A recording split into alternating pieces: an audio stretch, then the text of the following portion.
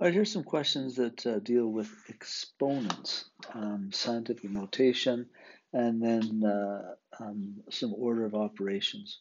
So the first question asks you to write an equivalent expression without a negative exponent. So anytime you have a negative exponent, you can change it to the other side of the fraction and make it positive. So this one, uh, this is like 6 to the minus 5 over 1. I could also imagine that there's a 1 times out here. And so I can take this and move it to the bottom of the fraction. And I can do that. Up top, the 1 stays.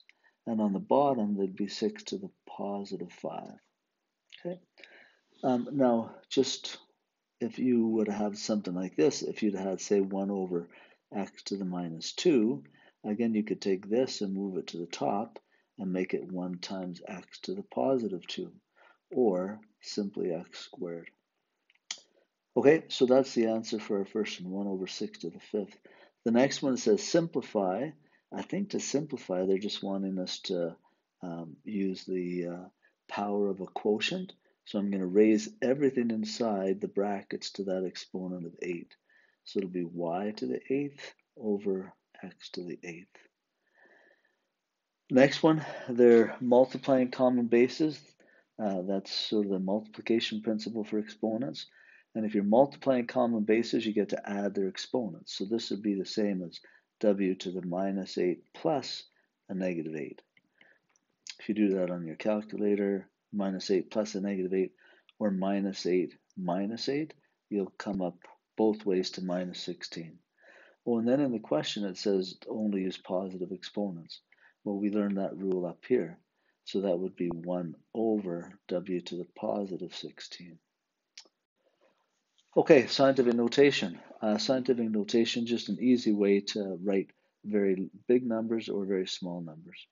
Um, so this one here, it's a very small number, and, and rather than having to worry about all those zeros and just how small that is, I can rewrite it so there, that there will be a decimal place after the first non-zero number.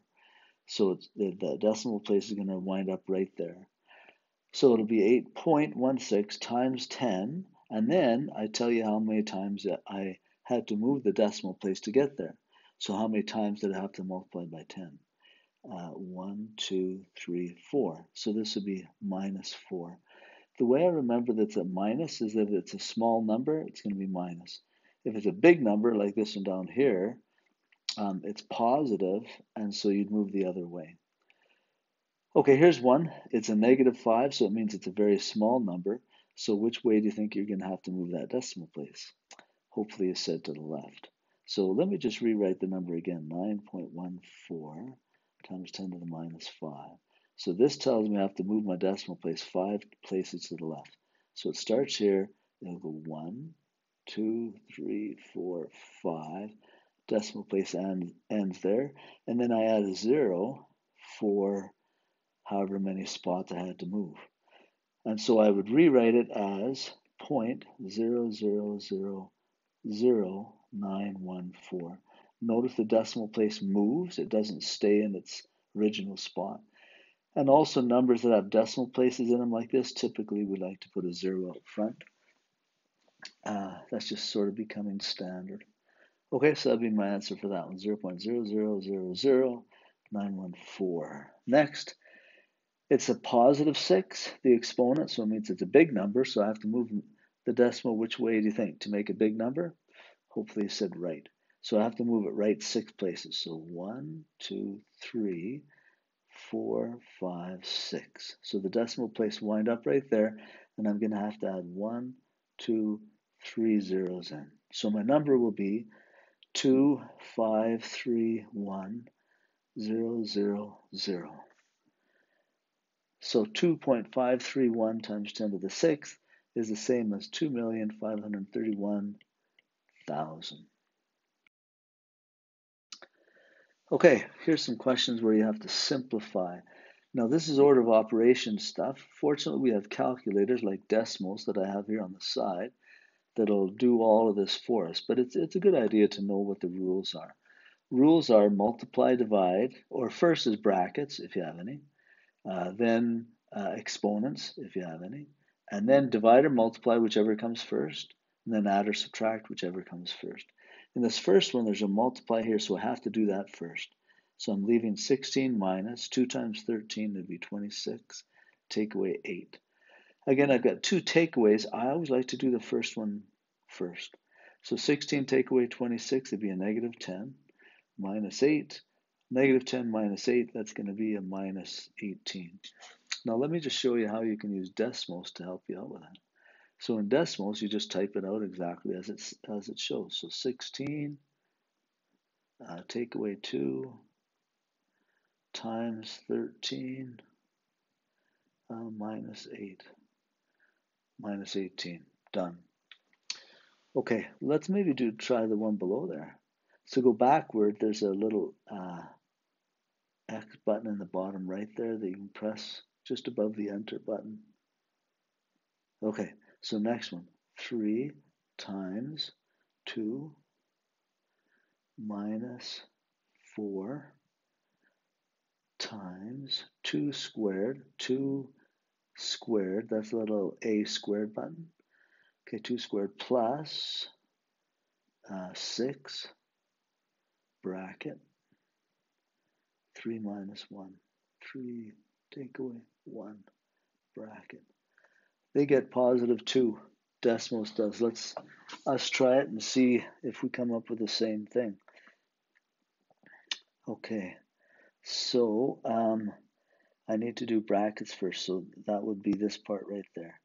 3 take away 1 is 2. So it'd be 6 times 2. And I'm just going to write everything else as it sits. Okay, then it says exponents before you do anything else. So 2 squared is 4, so this is 4 plus 6 times 2 times 4 minus 2, 3. There. Notice I'm just doing one operation every time. Okay, so um, we have brackets, then exponents, divide or multiply, whichever comes first, add or subtract, whichever comes first.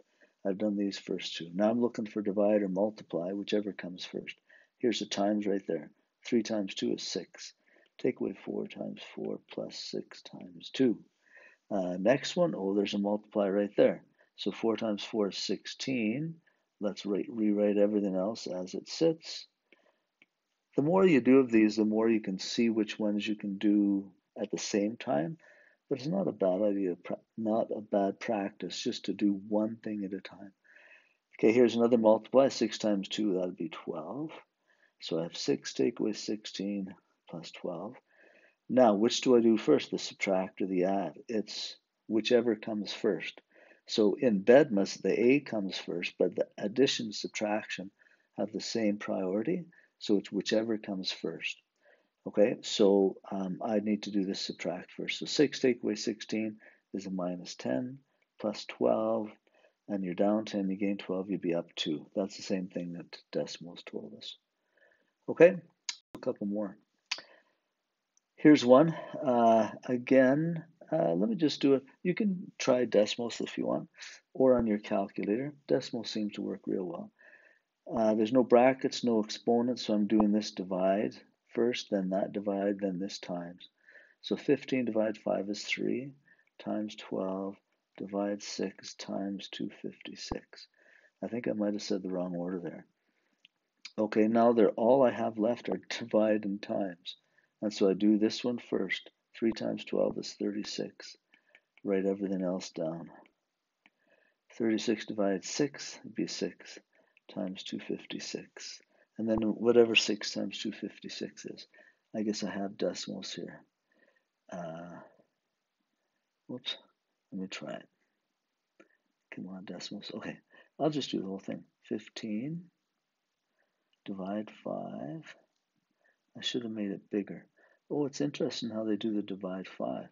Now there's arrows to help you move over if things aren't uh, lining up the way they should. So 15 divide 5, got it, times 12.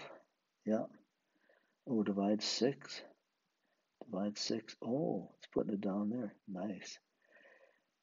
15 divided 5 times 12 divided 6 times 256. Times 256. Uh-oh. I spelled 256 wrong. there, 1536. So my answer, 1536. I'm just going to test that times 6. 36, 3, 30, 33, 3, 12, or 3 Yeah, that's right. Yep. Okay, last. Simplify that expression. Oh, that looks sort of fun. I'm going to do this at bracket first. So 7 take away 5 is 2. So I'll have 5 times 2 cubed minus 8 times 5 plus 4 times 5 all over. Uh, oh, 8 cubed, that's an exponent. 8 cubed, 64 times 8. 64 times 8. 32, 3, 5, 12. So it'll be 512 plus, oh, the same thing, 512. Okay, good. Um, now I have to do that exponent here. So 2 cubed, I think, is 8. So this would be 5 times 8. Take away 8 times 5 plus 4 times 5 all over. If I add those two, two together on the bottom, I'll get 1024. Okay.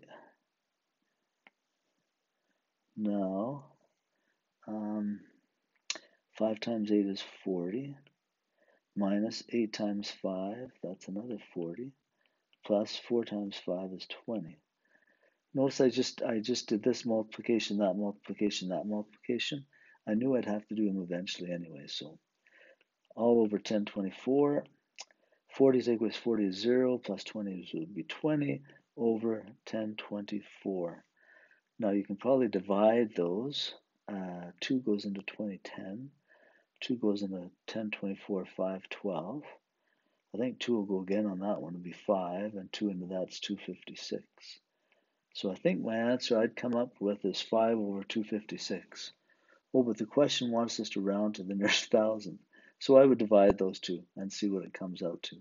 Let me try Desmos and see uh, uh, what it comes to. Okay, see if we can do this here. Now, if I have something, a whole bunch of stuff on the top divided by something on the bottom, typically in Desmos it's nice to put a bracket in. Just to say I'm start this is the top. Okay, so it'll be five and then bracket another bracket. Seven take away five. Bracket. Uh, cubed. So that's the AB one. And you have to put a three there, and then I'm going to go over. So far, so good. Minus 8 times 5 plus 4 times 5. Okay, and my bracket. So that's the whole numerator. Then I hit divide. Nice. And then 8 to the third um, over plus 8 to the third. There we go. So my answer,